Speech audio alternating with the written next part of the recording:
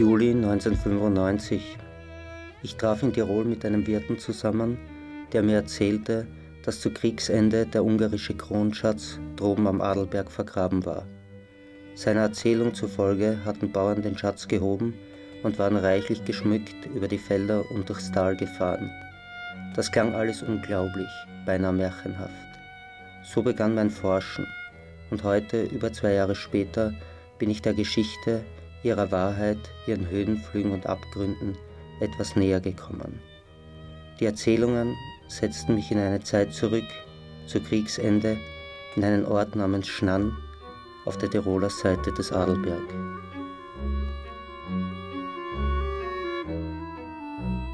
In der fraglichen Zeit, würde man bei einem Kriminalstück sagen, war ich ein Kind von sechs Jahren. Das Dorf 250 Einwohner, also ein winziges Nest im Stanzertal. Der Name des Tales ist kaum bekannt. Besser kennt man den Adelberg. Plötzlich, wie aus einem Märchen, taucht auch in meiner Erinnerung jetzt das Gold auf. Gold und dazu noch Schatz und dazu noch Krone, also Ingredienzien, die das totale Märchen ausmachen. Der ungarische Kronschatz. Archivare und Historiker wussten nichts über einen Kronschatz in Tirol. Einzig der alte Chronist des Nachbarortes Flirsch hatte in der Dorfchronik seine Version der Schnanner Goldgeschichte niedergeschrieben. Diese Zeilen brachten mich auf die Spur. In unserer Nachbarfraktion Schnann waren zum Kriegsende Flüchtlinge aus Ungarn, die da vorübergehend Aufenthalt genommen haben. Einzelne haben jedenfalls in den sogenannten Wiedmen, das sind die sonnseitigen Wiesen knapp westlich von Flirsch, mehrere Kisten Goldschmuck nachts im anreinenden Wäldchen vergraben und gut getarnt. Das Waldstück hier wird Seelenzoll genannt, zum Gedenken an Verstorbene, die nicht zur Ruhe kommen. Genau hier an dieser Stelle war ein ungarischer Militär-LKW mit einem Hinterraddefekt liegen geblieben. An einem Aprilabend war hier ein Wegmacher unterwegs. Diese Straße war damals die einzige im Tal. Dabei beobachtete er, dass oberhalb dieser Kapelle im Wald etwas vergraben wurde.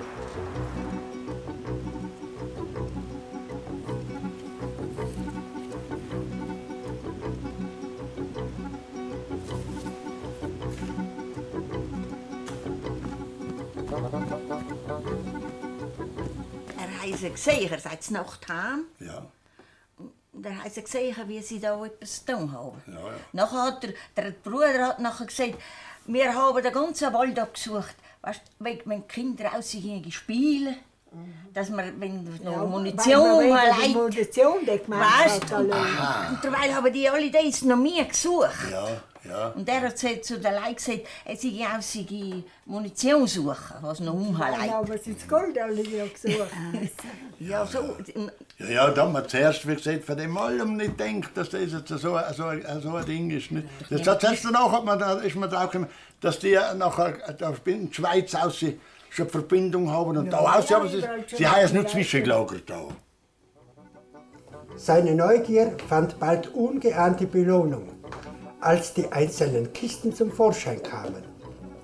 Von diesem seltsamen Fund teilte er seinem Bruder mit und beide gruben in nächtlicher Aktion den Fund aus und versteckten ihn anderswo. Für den Finder und seinen Bruder war die Sache offensichtlich zu groß. Sie wandten sich an eine verschwägerte Familie. Da waren äh, fünf Brüder. Der Schwiegervater riet, das Gold zu heben und zu verstecken an anderer Stelle. Die fünf Brüder äh, setzten wiederum ihrerseits andere Leute ins Einvernehmen und in kurzer Zeit äh, wussten an die 20 Personen von diesem Goldfund. Das Schnanner Gold blieb nicht lange verborgen. Viel länger blieben die Hintergründe seiner Herkunft im Dunkeln. Oktober 1996. In der Schweiz war die Debatte um versickertes Nazi-Raubgold voll entbrannt. In der Auschwitz-Stiftung in Budapest fand ich Hilfe und nach längeren Suchen Dokumente, die einen Raubgoldtransport zu Kriegsende auf den Adelberg belegen. Mehrere Lkw-Transporte waren in den letzten Apriltagen des Jahres 1945 am Zielort St. Anton angekommen.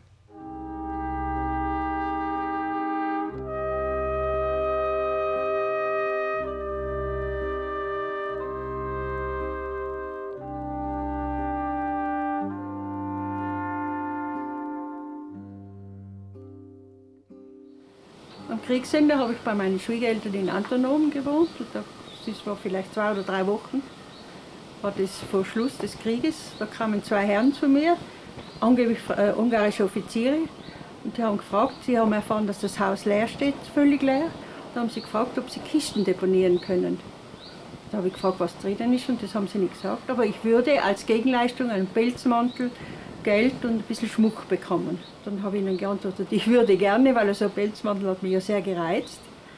Aber ich muss zuerst meinen Schwiegervater fragen. Den habe ich dann gefragt und hat gesagt, das kommt überhaupt nicht in Frage, dass wir sowas deponieren. Mit solchen Leuten will er nichts zu tun haben.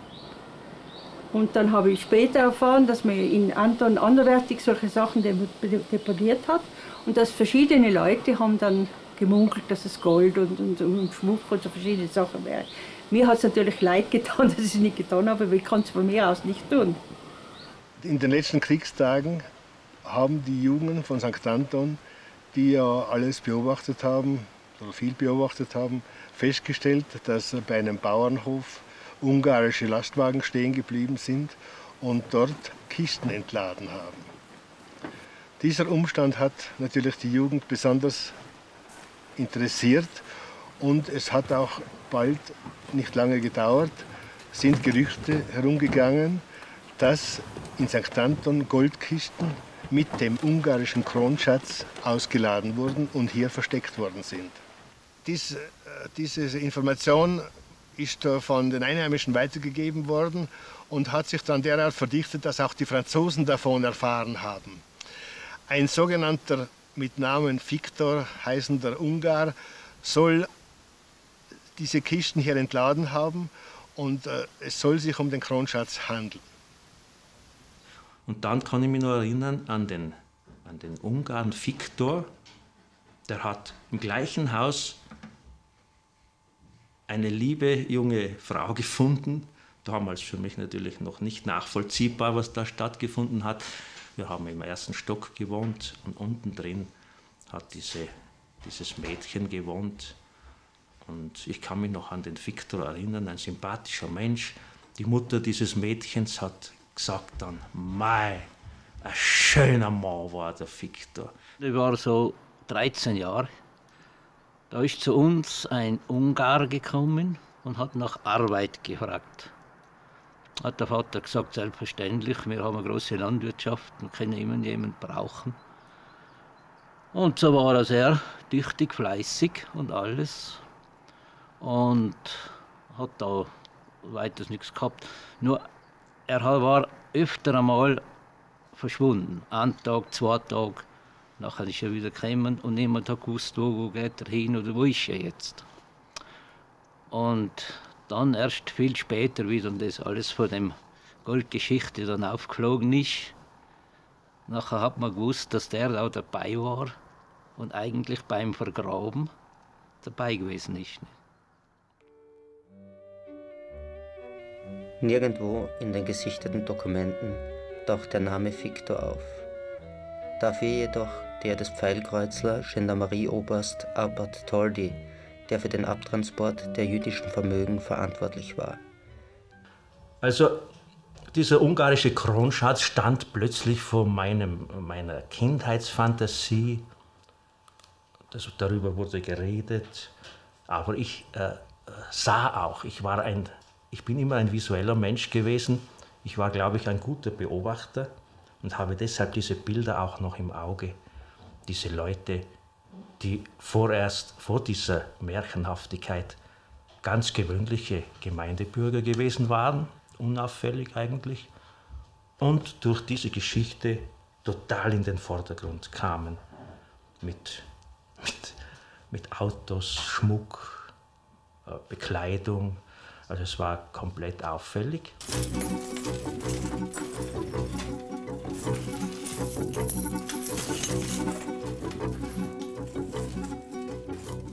Aber den Schmuck haben wir gesehen. Eine Frau, die hat einen Ring umgekehrt, also so groß wie der, ein, grüner Smaragd. Den, den, den habe ich heim noch, den tat ich noch kennen. Und die andere Frau, die hat Brillanten in der Haarstring da oben hat sie gekriegt. Die alte Frau. Die haben glänzt. Die alte Mutter? Ja. Na, Das halt, und noch, äh, man muss schon so halt, ein. Teil haben halt schon, äh, die jungen Mädel haben halt ein Teil schon ein Kettenli gekriegt. Woher kommt das? Ja, von, zu meiner Schwester hat der, der Vater auch einmal gesagt, «Mei, hast du ein lauses Kettneli und Zerferte? Geh mit, ich gebe dir ein goldes, ein Schiernes.» Aber sie ist nicht mitgegangen. Nein, so dumm. Und äh, wie, wie wir auf die Alp gefahren sind, dort hat er, hat er zwei Uhren angekettet, aber schön. Zum auf die Alp fahren, zum auf den Nacken fahren. Dort hat er geneigt. Das hat er ja nicht.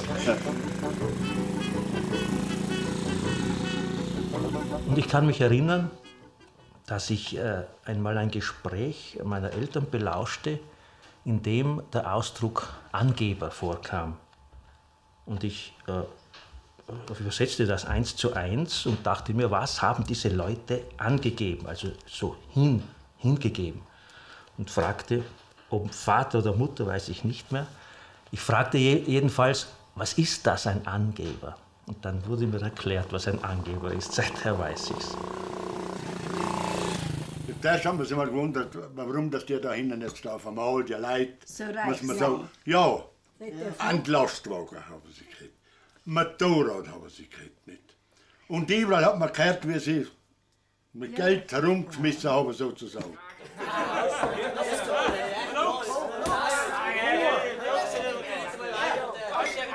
Dann hat er am, am Wirt ganz einen dicken Pakt nun Geld zum Aufbewahren gegeben, weil er getanzen ist. Ja, Weilerli haben sie schon gelebt wie Gott im Frankreich.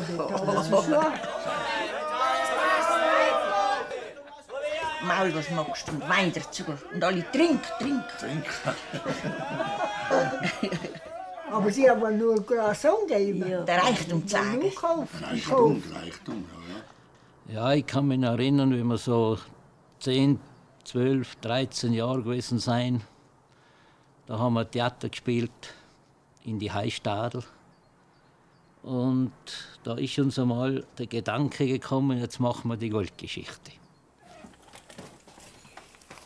Da haben wir aus dem Stegreif haben wir gesagt, also du bist der, du bist der und du bist der, du findest es, du hast es eingraben, du hast es versteckt, der eine holt es wieder, so wie es halt damals zugegangen ist.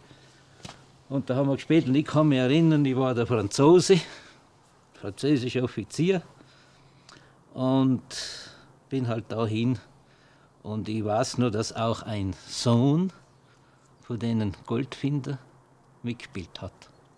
Der war damals vielleicht zwei oder drei Jahre jünger wie ich. Und den habe ich, ich kann mich erinnern, den habe ich halt anständig die Meinung gesagt und rück jetzt außer mit einer Sache mit dem Gold. Nicht? Und er hat zu mir gesagt, das weiß ich heute noch, verschwind, sonst gebe ich dir eine anständige Backpfeife. Arbeiten! Ha, das sind nicht Loch! Nein, nein, ich gehe auch nicht arbeiten. Ich mache mir jetzt einen eigenen Betrieb. Und eine Spedition und den Lastwagen den habe ich auch schon bestellt. Ja, und ich habe auch zwei Motorräder bestellt. Zwei schnelle Maschinen und Ledermäntel dazu. Ha, da werden die Mädchen Augen machen. Da kann ich gleich noch einfügen, dass diese Leute, äh, ausgerechnet diese Leute im Dorf, in diesem äh, kleinen Nest, mit großer Bescheidenheit und großer Einfachheit, ausgerechnet jene den Goldschatz, den ungarischen Kronschatz sogenannten, gefunden hatten, die damit überhaupt nicht im Sinne von Schlauheit, von, von ländlicher äh, Hinterlist äh, umgehen konnten. Es waren wirklich, eigentlich haben es die richtigen Leute gefunden. 30. März 1945. Vom Bremberg, einem alten Bergwerksort an der österreichischen Grenze aus, wurden die jüdischen Vermögen aus den Stollen gekarrt und auf Befehl Toldis verladen und nach Westen transportiert.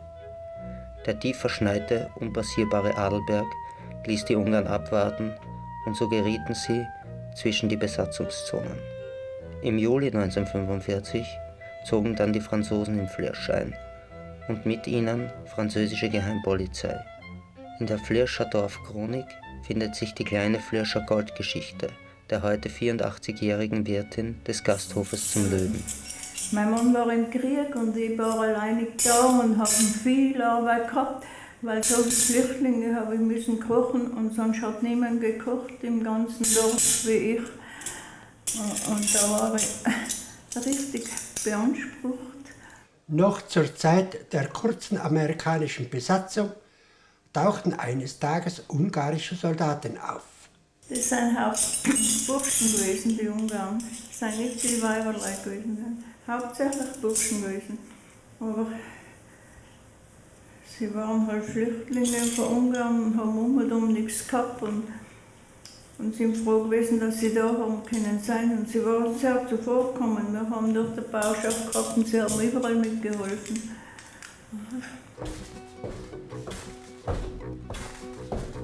Während die meisten am kommenden Tag weiter nach Westen fuhren, blieben zwei als Knechte im Ort, während ein dritter Mann jeden Abend die beiden im Gasthaus besuchte.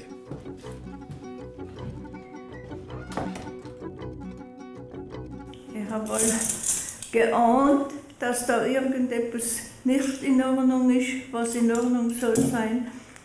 Aber ich habe nie können, ich bin nie dorthin gekommen. Nicht?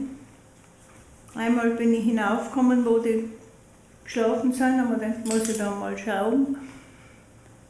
Und nachdem haben sie aber geschwind gesagt, Little Mami hinuntergehen, Little Mami hinuntergehen. Ich soll halt nicht oben sein. Ja, bin ja wieder runtergegangen. Als mitten im Sommer französische Soldaten die amerikanische Besatzung in Flirsch ablösten, waren die Ungarn früh heimlich abgereist. So nebenbei hatte die Wirtin erfahren, dass man in St. Anton ungarisches Gold entdeckt hätte. Sie werde es nie vergessen, meinte die Wirtin, als man sie vor einen kleinen Küchentisch schleppte, der aufgehäufelt mit einer großen Menge von Schmuckstücken war. Ah, da bin ich ganz fertig gewesen. da bin ich ganz fertig gewesen.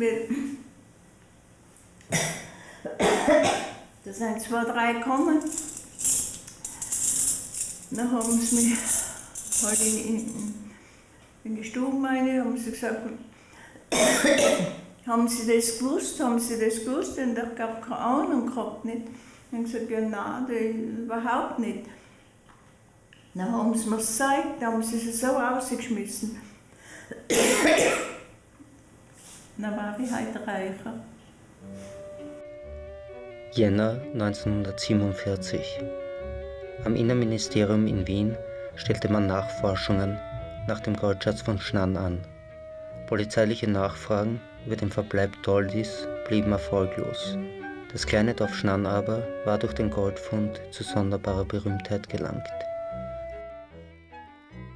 Ich kann mich noch erinnern, dass die Schaffner bei der kleinen Haltestelle, äh, an der der Zug in Schnann stehen geblieben ist, dann bis in die 50er Jahre hinein, nicht jeder, aber einige, die ein bisschen Sinn für Humor hatten, immer Schnann, die goldene Stadt riefen. Also dieses kleine Nest Schnann unter der Klamm wurde, wurde zur goldenen Stadt erhoben.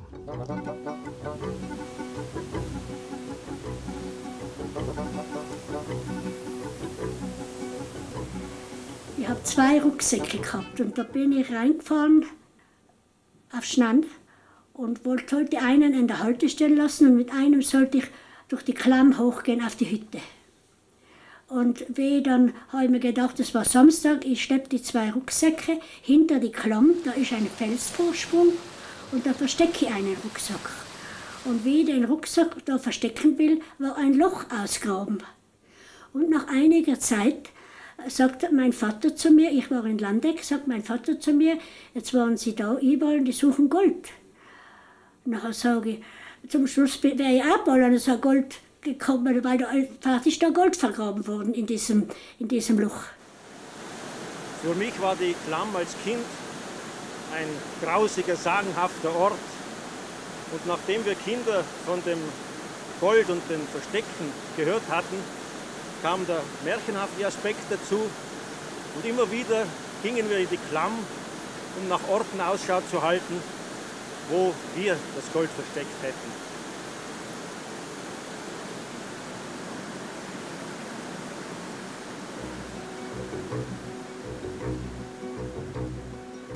Inzwischen wurden die Kisten schon heimlich gesucht. Man wäre wohl kaum auf die richtige Fährte gekommen, hätte man sie vorerst dort in Ruhe gelassen. Aber verräterische Spuren, welche in die Schnanner Klamm führten, fielen auf neugierigen Boden. Da schau her. Was denn? Da fällt was. Was?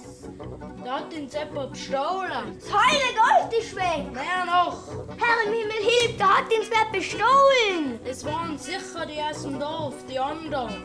Bist du sicher? Ganz sicher, die haben uns beobachtet. Schlimm aber hatte sich der Besitz für die Finder herausgestellt. Ihr besonders anspruchsvoller und aufwendiger Lebenswandel, ein Autoankauf und der besondere Schmuck, sonst einfache Frauen und Mädchen, erregte im biederen Schnann Aufsehen und heimliche Erregung. Gewohnt kann ja, da bin ich nicht so neidig. Weißt, mir ist halt alles das Motorrad. Das Motorrad. Das Motorrad, das hat halt mir Ja, aber Sie haben mal aber Sie alle gesagt, Sie Und die der Lastwagen eine Frechterei. Eine Frechterei, die Ja, ja, da, ja genau. Da kann ich mich erinnern. Ja, Das ist der Flechterei. Flechterei umfangen. Ja. Ja, ja. Und die haben richtig mir mit dem kleinen Schnackerlwagen da, was sie da umgebaut haben, und die haben so einen schönen Lastwagen schon gekriegt. Das war ja noch ein Zauffaller da, gell? Und da, war, da ist es halt alles schon der Neiden ein bisschen gewesen. Ja, da ist in der Nachbarschaft, der drei, vier Häuser weiter oben, ist da nach dem Krieg noch ein Knecht gekommen von Schnannhausen. Der kleines Männchen, und jetzt ein netter Bursch gewesen mit dem, und der hat da recht ein schlechtes Jahr beton, ist einmal alles zufrieden gewesen. Nur dazu haben wir gesehen, dass der am Sonntag, wenn er ins Gasthaus gegangen ist, Braten, Goldring gehabt hat und Uhrketten und Ketten. Also hat er gemunkelt, ja, was hat denn der Mensch das zurückgehört? Jetzt kann er einmal mit Arbeit nicht verdient haben. Und da ist nachher so im Laufe der Zeit noch herausgekommen, ja, sie haben drin im Schnann Gold gefunden. Im Wald oder zwischen Flieger und Schnann, da haben wir einen Schatz gefunden. Und, und, und, woher käme ich, haben wir zuerst ja nichts gewusst. Das hat sie nachher erst im Laufe der Zeit hat sie nachher das herausgefunden. Ja, das sei der ungarische Kronschatz. Wie gesagt, ich habe es erst jetzt vor zwei oder drei Jahren gelesen, dass die letzten Reste von dem Kronschatz an Ungarn zurückgegeben worden ist von Paris aus. Also. Nein, den ungarischen Kronschatz haben sie erst vor ein paar Jahren, die Amerikaner, jetzt weil die Kommunisten weggerüstet sind in Ungarn, haben sie ihn zurückgegeben.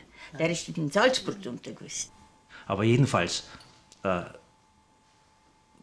hörte ich bis zu meinem 20. Lebensjahr, ich war damals schon ein junger Lehrer, damals war es ja möglich, mit 19 schon diesen schönen Beruf zu ergreifen, äh, hörte ich immer nur vom ungarischen Kronschatz.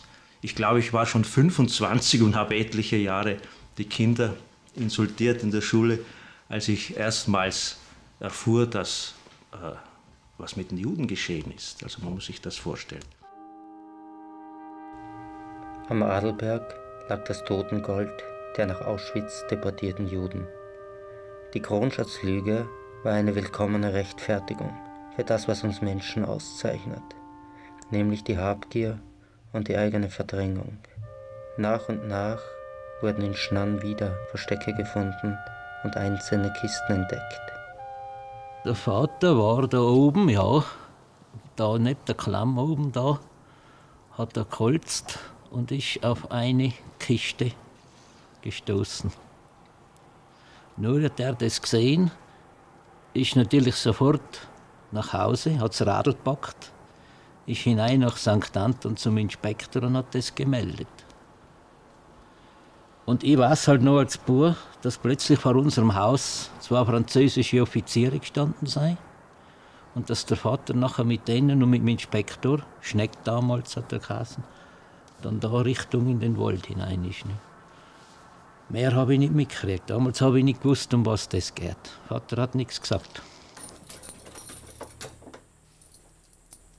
Aber jedenfalls hat es in Schnand Leute gegeben, das ist Tatsache, die absolut damit nichts zu tun haben wollten. Äh, man hat mir erzählt, dass einer einen Becher mit Diamanten gefunden habe unter seinen Pillen, weil da haben die immer die Mäuse geschoben und dann hat man im Frühjahr, damit das Pillenholz da nicht verfault, hat man das, äh, den, die Mäuseerde hat man dann heraus, herausgekratzt und in und bei der Arbeit ist er dann auf diesen Becher gestoßen.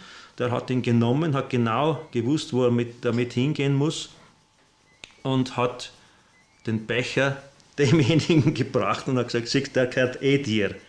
Also da waren wahnsinnige Werte drin. Was war eigentlich, eigentlich der richtige Grund, dass, nachher, dass es nachher so ist, dass nach und nach erst ja, auffallen, ja, das dass, dass das nachher aufkommen? Wer der Franzosen Wir wissen das nicht. Nein, nein, ich glaube nicht, dass es Also die Ungarer hat er nie gesehen. Nein, nein. Aber also bei uns hat man erzählt. Aber ob es wahr ist, weiß ich nicht. Eine von den Ungarn, die, die da dabei gewesen ist, die hat es mit den Franzosen gekriegt und dann hat sie es verraten. Also mit der Goldgeschichte irgendwie bin ich wiederum konfrontiert worden. Und zwar, ich war dann als Dolmetscherin bei den Franzosen tätig, weil ich meine Dolmetscherprüfung habe. Und äh, eines schönen Tages, drei oder vier Wochen, es war im Juli, ist äh, ein Taxifahrer zu uns gekommen, ein, ein äh, Landecker Taxifahrer, und hat mich gebeten, ich soll mit ihm zum Gendarm gehen. Er muss Anzeige erstatten gegen einen Sterner Bürger, der dazu mal sogar Beamter war. Und äh, er hätte angeblich was anzuzeigen. Da bin ich hinübergegangen, habe gedolmetscht. Das heißt, ja, da ist ein Schnanner Bürger und der hat mehr oder weniger viele Tausend überall in der Taschen und, und hat äh, mit Etuis, hat ihm, was weiß ich, die äh, Trinkgeld gegeben und hat, hat ihm ein Etui gezeigt, das war Zigarettetui aus Gold, mit einwandfreien Initialen in Brillanten. Und er glaubt, dass das aus irgendwie von unrechtmäßigen Sachen herkommt. Und der Gendarm hat sich dann näher befasst, hat mich gefragt. Und dann sind sie am nächsten Tag, haben sie das alles in die Hand genommen und sind dann da hinaufgegangen und haben die Leute mehr oder weniger verhaftet und haben sie dann nach Landeck gebracht. Und da wurden sie dann ausgefragt. Juli 1946. Wieder wurde das Gold in Kisten gepackt und in die französische Kommandantur nach Lande gebracht. Und wieder hatten die herrenlosen Güter ihre Besitzer gewechselt. Dann wurden einige Familienangehörige verhaftet und verhört. Die haben natürlich gesagt, sie wissen von dem Gold nichts. Und dann ein Familienmitglied wurde dann ganz hart angefasst und ist dann in einen Nebenraum gekommen und wie hinein, wo musste ich dolmetschen, wie ich hineingekommen bin, ist auf Scheiteln gekniet und da haben sie ihn gerade geschlagen. Und da habe ich gesagt, es tut mir leid, unter solchen Umständen tue ich als Österreicher nicht dolmetschen. Ich lasse meine Landsleute nicht von mir schlagen, bin draußen, da will ich nichts damit zu tun haben. Da hat der Gendarm gesagt, gut, dann gehen Sie hinaus und hat jemand anderen geholt. Ungerechtsgut tut nicht gut. Ja. Das, also, die haben alle schwer drauf gezahlt. Im Dorf äh, hat man natürlich dann gesagt, ja, typisch wieder, man sieht, Unrecht gut gedeihet nicht. Das haben natürlich nur die Leute gesagt, die nicht an das Gold herangekommen sind. Ich weiß nicht, äh, äh, was geschehen wäre, wenn, wenn andere das gefunden hätten. Es könnte sein, dass man dann, dass es keine Schnanner Goldgeschichte gäbe, dass es das goldene Dorf gar nicht gäbe, weil man das einfach schlau und heimlich verklopft hätte und, und seine Gewinde rausgezogen hätte. Aber so es, sind wirklich Umstände eingetreten, die die Leute in ihrer moralischen Position bestärkt haben. Siehst, da kommt nur kurz außer. Glücklich sind sie nicht geworden. Da könnten wir halt sagen, wie sie, wie sie gestorben, drauf sind. der andere- Holz das kämen und nur reden können. Der hat schon noch gewusst, Das ist nicht, wo das das Gold ist, ja. Und dann hat man dann natürlich gemunkelt, dass man den im Krankenhaus nicht allein gelassen hat, dass immer jemand äh, dabei gesessen ist mit dem Ohr an seinem Mund, ob er nicht doch noch was äh, sagt, wo, wo er was versteckt hat. Er ist aber nicht mehr zum Bewusstsein gekommen. Und dann hat man gemunkelt, das war noch so eine, eine Geschichte, die dann das Dorf schon äh, damals noch sehr erregt hat und auch uns Kinder erreicht hat, dass man dann die Böden aufgerissen habe in diesem Haus und halt überall gesucht habe, ob nicht doch noch etwas zu finden sei. Dann wurde eine der Familienmitglieder eingesperrt und hat natürlich Angst von diesen Methoden, die da angewandt worden sind, weil einer seiner Angehörigen geschlagen worden ist und der hat dann im Gefängnis Angst gekriegt und hat dann vor lauter Angst angefangen zu verraten und Lagepläne zu machen in der Schnan, der Klamm und so weiter, wo halt die ganzen Sachen sind. Und da anschließend sind die Franzosen dann hingegangen und haben mit ihm auch das alles gefunden. Die österreichische Gendarmerie war auch dabei und zwei Träger. Und da haben sie dann einige Kisten gebracht und es wurde nach Landeck zur Militärregierung gebracht, wurde in einen Raum verschlossen und anschließend wurde das Ganze aufgeteilt. Da ist Inventar gemacht worden und da waren immer Franzosen und Österreicher dabei. Und das ganze Gold ist dann in Kisten hineingekommen, wie das ganze Inventar gemacht, das ganze Inventar gemacht worden ist. Und dann hat man es halt beim Metzger in Landeck, beim Metzgermeister vis-à-vis, hat man eine Waage gehabt, da hat man das ganze Gold gewogen, so en gros. Und das hat man dann nach Innsbruck geführt und was daraus geworden ist, weiß ich nicht. Das haben alles Franzosen kassiert. Alles. Was halt noch übrig war, ich meine, es hat überall was gefehlt. Soll ja für jeder Kisten soll gefehlt haben.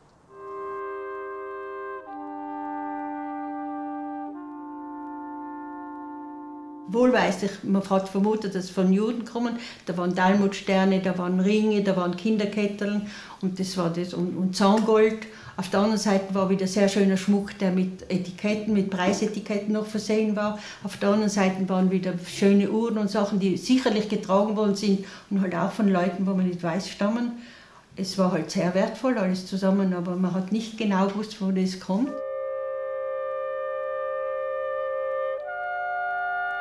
Voll sind ja Ring und, und Gebisse goldene, die müssen Das ist dich für da die zählen. Juden.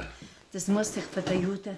Ja, ja, gewusst das, sein. das, das ist schon beschlagnahmtes Zeug gewesen für die Juden. Die haben es nicht nur gerade Zend und, und, und Ring genommen, die haben es schon Sonderzeug auch genommen. Ja, ja, ja, ja. ja. Das Seht ist- ihr, das sei- ist- hier Stangengold auch dabei. In der Stange, weißt du? Ist auch gewesen? Ja, freilich. Eigentlich haben diese Zeitungsausschnitte meine Erinnerung bestätigt, aber auch zusätzlich noch viel Information geliefert und natürlich eine große Verwunderung in mir hervorgerufen, äh, dass die Leute einfach diese Zeitung, diese Berichte ignoriert haben. Weil da steht genau drin, woher das Gold kam, äh,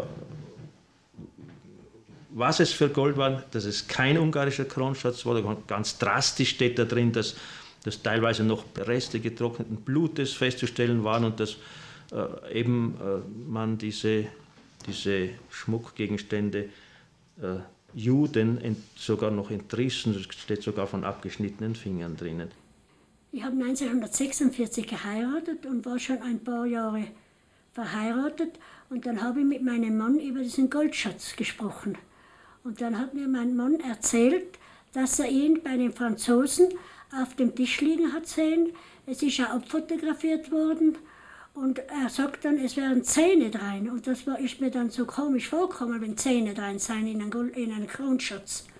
Die Leute haben auch damals Zeitung gelesen. Und wenn fünf Leute im Dorf Zeitung gelesen haben, dann haben sie das den anderen weitererzählt. Das Phänomen ist schon äh, sehr interessant, aber eigentlich äh, logisch, wenn man, wenn man die allgemeine Verdrängung betrachtet, die in dieser ganzen Sache stattgefunden hat. Wieso soll so ein kleines Dorf nicht seine Ruhe wieder suchen, sich in den Schatten betten und, und, und ausruhen von dieser Geschichte? Und das ist mir eigentlich auch klar. Aber, aber dass man einmal hätte hören müssen, in den ganzen Jahren, in diesen Jahrzehnten, dass das kein ungarischer Kronschatz ist, dass das so, äh, dass das so äh, wirkungslos also vorbeigegangen ist, das ist schon sehr erstaunlich.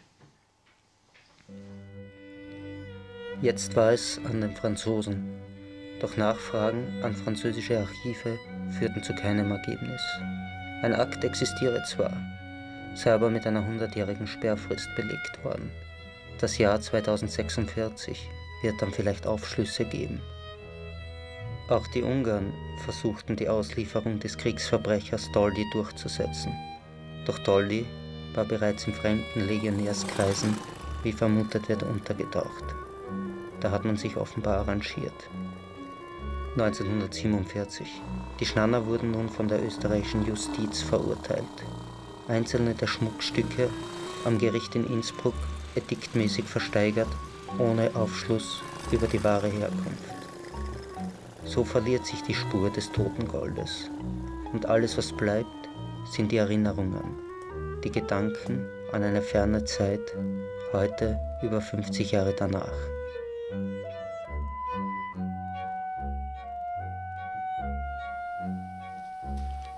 Für uns Kinder eine spannende Zeit. Wir haben uns von nichts durcheinander bringen lassen. Die Konflikte der Eltern haben uns überhaupt nicht interessiert. Die Nachbarn, Franzosenkinder, wir haben wunderschön zusammen gespielt. Eines Nachmittags habe ich in einer Schublade gestöbert und plötzlich tauchen Fotos auf.